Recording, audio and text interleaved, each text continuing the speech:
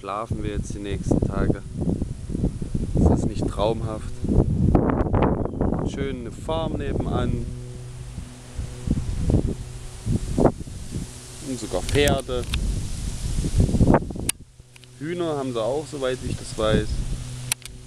Sind mitten im Nirgendwo.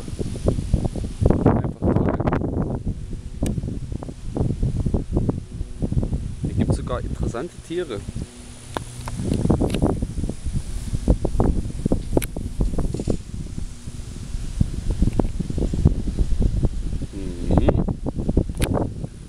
Wir haben auch schon Kakerlaken, Schrägstrich Roach gesehen, die sich in Frankies Kulturbeutel verstecken wollten.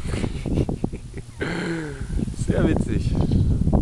Ja, es ist ein kleines, schönes, super Haus. Es ist super nett hier. Ich bin echt überrascht. Und sie kennen Tool. Was mich persönlich sehr freut. Okay, bis später.